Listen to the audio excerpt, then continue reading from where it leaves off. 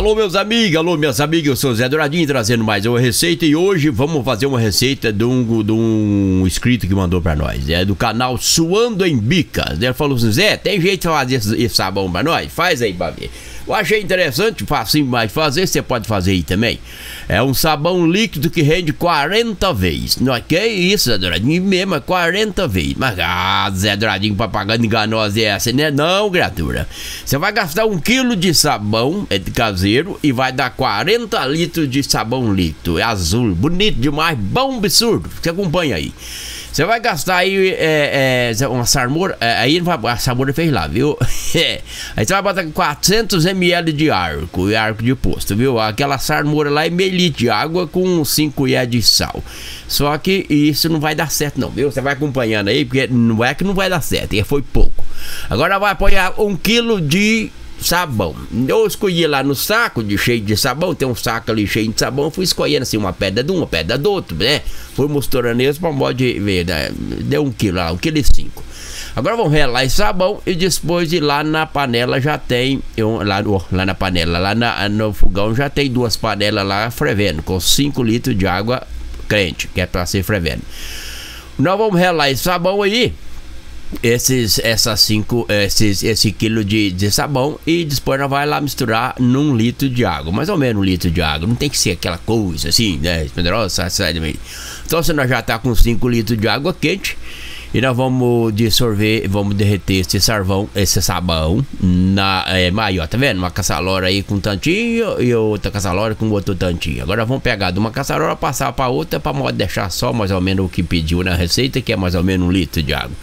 Vamos despejar esse sabão e vamos deixar ele derretendo. Assim, depois que ele derreter, nós vamos levar ele pro barde, vai dar uma mais uma misturada nele e nós vamos misturar esse resto de água quente, esses, mais ou menos esses outros 4 litros de água quente nele e dar nele uma misturada. E aí nós vai botar a samura, aquele, aquele meio litro de samura lá para modo engrossar, né? Que a samura é para você tomar cuidado. Você que não tem muita experiência, não vai botando sal direto, não. Só que eu vou adiantar para você que nós botamos a samura e não deu para fazer muita diferença, não. Engrossou, engrossou um pouquinho, tiquinho. Mas não foi grande coisa, não. Mas nós vai mostrar para você que o trem funcionou e vai mostrar por que que funcionou. E ficou muito bom. É, tem uma folha de abraço aqui, criatura, que tá velha. Ela ficou aqui perdida aqui, na, puxou a gaveta e ela caiu atrás da gaveta e não saiu e ficou. Mas hoje nós vai ver se nós deslancha um cadinho deles, né? É, e você não repara não. Você que tá assuntando aí, olha lá. É, nós botamos aquilo lá no, no, no barde e agora vamos botar um tiquinho de água quente com essa lora aí pra modo dar uma lavada ali e misturar no barde. O barde ali já tá com aquela misturada que ficou lá. Mas só que o trem tá frio pra dedéu, menino do céu. Alguém tá fazendo frio demais da conta. E aí foi só para de tirar o, o, sabão, despejar o sabão no barde, o que sobrou na panela lá já endurou. É, mas frio demais da conta. E deu uma, um inscrito até que perguntou para mim, foi o inscrito, não sei, perguntou como é que a temperatura é boa para fazer sabão, o ideal para fazer sabão. Ó, vai variar muito, viu? Tem coisa no sabão que carece de ser frio, né? Depois que ele tá na forma, então para ele abreviar tem que ser frio, frio. Mas um sabão líquido, por exemplo, no frio ele vai ter muito mais problema de talhar, vai talhar com mais facilidade. Mas ele talhando não quer dizer que você perdeu o sabão também não, viu? Você acabou, acabamos de botar água quente aí. Uma coisa que nós fizemos errado, que você pode acompanhar, é que nós batemos com a máquina. A máquina não é ideal para bater aquela escuma feito boca de cachorro doido, né? Aí depois nós mexemos ali, escumou bastante, nós passou para colherzinha de pau mesmo, aquela tradicional. Nós vamos misturar agora a salmoura. Você vai botando uns pouquinhos para ver se não passa, mas não teve perigo não. Nós ponhamos o litro, o, o litro, o meio litro inteiro aí com as 5 colheres de sal e foi pouco. Mas por que, que foi pouco? Né? Porque ele ameaçou engrossar, mas não engrossou. Então você fica sabendo que foi pouco. Quando você for fazer um sabão, uma quantidade mais graúda de sabão, e você quer engrossar ele, que não carece, e você engrossa mais é para poder ficar com a carinha bonita, para poder tirar o retrato e você mostrar para os outros que você fez um sabão que ficou bonito, que você mostrar aquela água de batata, ninguém vai acreditar no seu sabão, né? Aí você tem que engrossar, mas com salmoura e com cuidado. Nunca engrossa a quantidade inteira. Você pega uma amostra, tira uma amostrinha lá e, e e vai engrossar ela para ver se o trem vai funcionar, para depois você fazer com o resto do produto, tá bom, criatura? Ó, você viu que nós põe no tanque. Por que no tanque? Porque é, uma mistura dessa vai dar 40 litros de sabão e não tem um bar de 40 litros. E o tanque já vai misturando, o tanquista já vai misturando, né? O que nós ponhamos aí.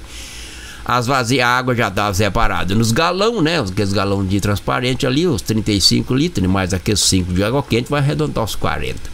Vamos botando aí. Fez é, Dradinho, você pôs o trem pra perder. O trem ficou ralo, criatura. Ai, ficou feio, esquisito.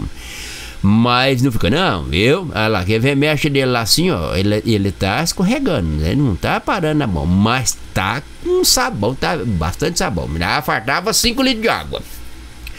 Autorizamos põe uns 5 litros d'água. Põe mais. Vamos, né? Ponhamos 5 litros d'água lá. E agora, agora é ver se esse trem endurece, né? Ah, tem que colorir. Vamos colorir o danado. Com o quê? Com xadrez. Essa tinta xadrez de colorir tinta.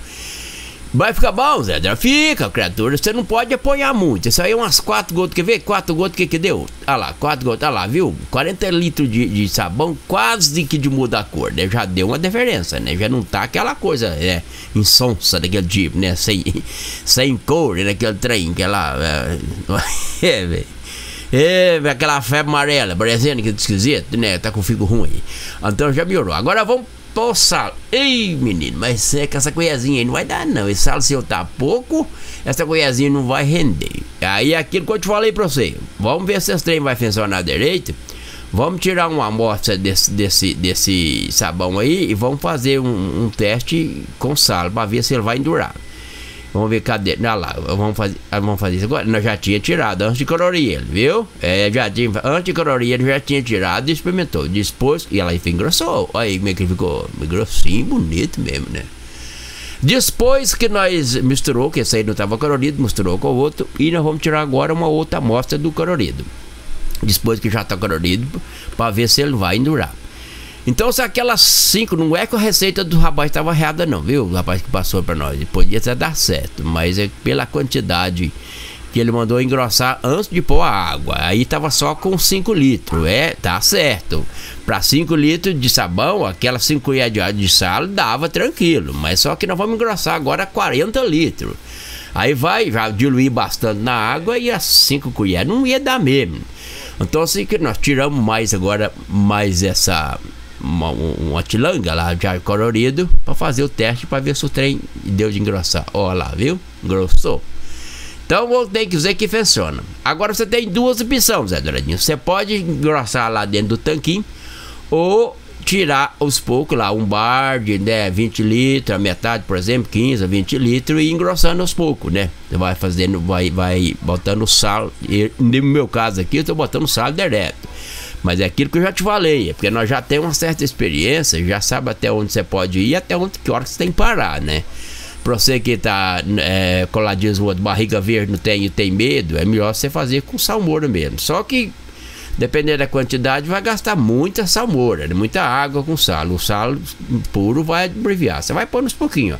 Nós começamos a botar na água e depois botamos com a colher e estamos acabando despejando com o saco, tá vendo? Tá vendo tanto de sal que ia gastar? Nessa quantidade nós gastamos quase meio quilo de sal, viu? Que era para ser 5 colheres só. Olha lá, viu? Ficou bonito. Tá com uma, uma, transparência até bonita. Ele, lógico, que quanto mais grosso, mais sargado ele ficar, mais opaco ele vai ficando. Mais embaçado, né? Opaco é isso, né? Bom, agora é botar na, na vazia, né? Botar na vazia e, e ver depois para tirar o retrato. Então, nisso, enquanto isso, vamos mandar um abraço. Vou mandar um abraço aqui para a Luciene Rodrigues da Silva. Ela falou assim: Zé, tô aprendendo direitinho. Manda um abraço para mim para meu filho Nicolas e pro meu marido David. Nós mora pertinho do centro de São Paulo. Olha que maravilha. Ela é Boa Esperança do Sul. Hã? Interior de São Paulo, interior do estado. Ah, meu Deus, mas como é que fica? Fica, ah, fica entre o meio Araraquara e o marco central do estado de São Paulo. Ah, bom, perto do centro do estado de São Paulo, criador. Dá, nós é gostoso. Tá vendo o teste da escuma? Nós fizemos o teste com a água do barde. Olha lá, o barde, no barde tem mais ou menos 15 litros, com mais, olha lá, aquela vazia do meio tem 10 litros, com mais as outras tem 5, 10 com 10, de, com 10, 30, com mais, uh, um, mais de 10 ali, vai, passou de 40, viu? No barde tem mais de 10, então passou de 140. Isso com o mano Facebook de cachorro doido. Agora ela vai mostrar na água pra você ver como é que ficou, né? Vai ficar muito bom. Manda um abraço também pro meu amigo Luiz Nicoletti. Ele diz que, que nós lembra aquele tempo de criança quando ele ainda escutava o rádio e passava umas modas que falava assim: like nós like, mas Mônica é good nós não have. Eita, caboclo. É o inglês, né, bebê? Manda um abraço também pra Ângela Pereira e pra Maria Miranda. Gente, vamos ficar por aqui. Um abração pra você. Espero que você tenha gostado de mais esse vídeo. Espero que você adicione ele aos, aos favoritos do YouTube. Se você ainda não é um inscrito, se inscreva hoje, dá aquela likeada com força, ajuda nós, né? Graças a Deus o nosso canal tá deslanchando bem, mas carece mais da sua ajuda, viu? Nós não ganhamos dinheiro para isso, nós não cobra para fazer vídeo, mas o que ajuda nós é os comercial também. Não pula não, continua não pulando. Muito agradecido a você que já não pula e para você que que, que e gostou e que vai ajudar nós, um abração, fique com Deus e até o próximo vídeo. Na FINAF, neném, até.